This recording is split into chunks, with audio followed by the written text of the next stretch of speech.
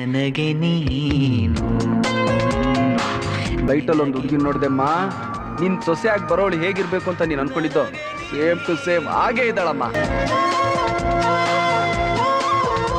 ನೀವು ದೊಡ್ಡ ಹುಡುಗಿ ಸುಂದರವಾದ ಹುಡುಗಿ ಅದಕ್ಕೆ ತಾನೇ ನಾನು ನಿಮ್ಮ ಹಿಂದೆ ಬಿದ್ದಿರೋದು.